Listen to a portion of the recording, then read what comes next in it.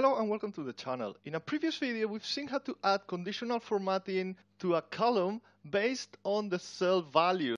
But what if I want to format column A based on the value in column C? So something like what you see here. We would be changing the color of the users here based on the value in column C. Or even adding the conditional formatting to the entire row in the table based on the value in a given column. So we're going to see how to do all that in this video. So let's go back to the first workbook and I'm going to I'm going to clear any rules here. So that's the starting table. Now let's go to the Visual Basic Editor. I have here the previous macro and I'm going to leave the link of that video up here so check it out if you haven't seen it yet. So now we're going to insert a new module and add another macro. This is going to be add conditional formatting based on another value, something like that. Now, the beginning is going to be very similar to the other macro. So we're going to use, again, a collection to get the unique values in the column with the target values. And that's going to be, let's call it value column. Okay? That's, that's the column with the values that we want to check to add the formatting. In this example is column C. And then we're going to have the other column, the column where we want to apply the formatting. So that's going to be formatting column as a range as well. And, and let's say that column is going to be column A. So we're going to highlight, so we're going to apply formatting or a color to the names based on the class they belong to. And that's actually option one. We're going to see first that, and then we'll see how to apply the formatting to the entire table. So let's set value column, as we said, it's going to be columns C. And then the formatted column is going to be column A. Then we're going to delete any formatting conditions there. So format conditions delete. And then we're going to get the first cell in the column with the values. And let's call it, for example, val reference and that's going to be cells row 1 column is going to be val call dot column and to get the address we use dot address but but that returns the absolute address. To get the relative we need to set the conditions for row to false and column to false as well.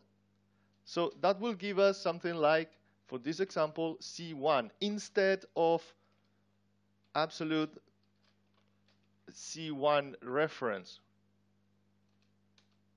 Then we can start the loop as we did in the previous video. So for each cell in the column with values, which is val call, and again with special cells, we're going to get only the cell type constants.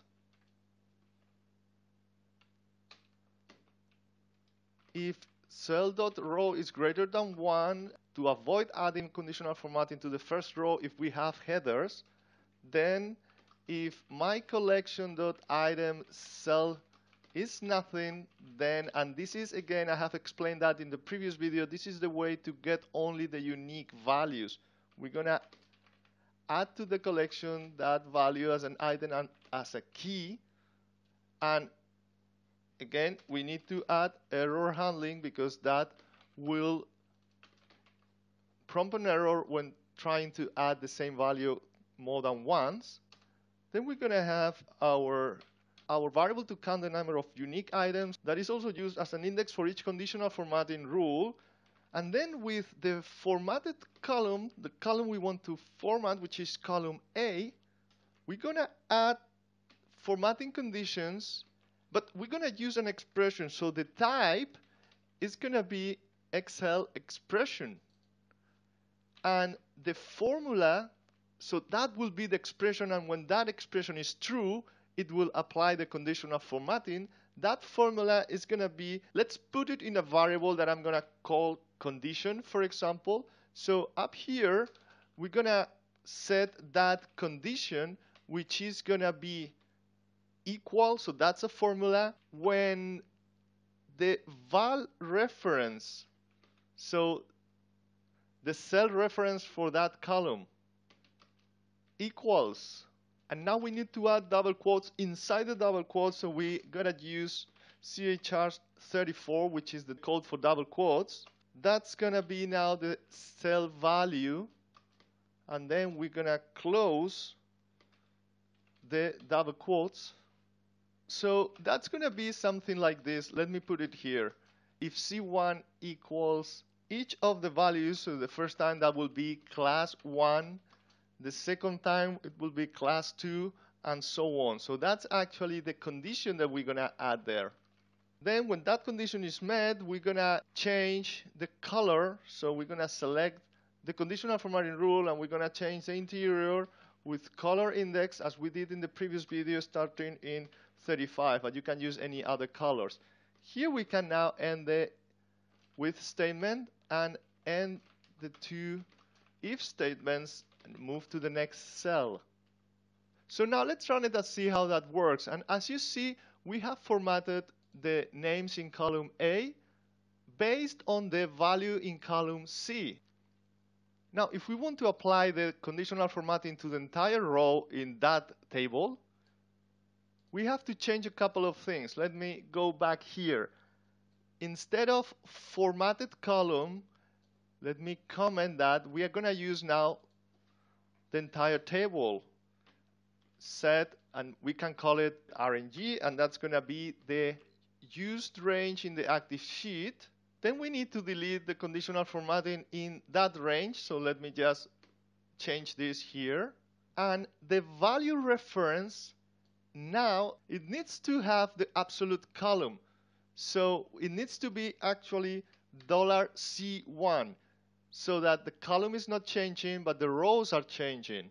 And to get that, we need to change this to true because the first parameter is for rows and the second is for columns. This is very important. If you don't change this, you will not get the conditional formatting for the entire table. Then down here, instead of with the formatted column, we have to say now with the range, the entire range with data and the rest remains the same. So now we can run the macro and as you see, we get conditional formatting for the entire table.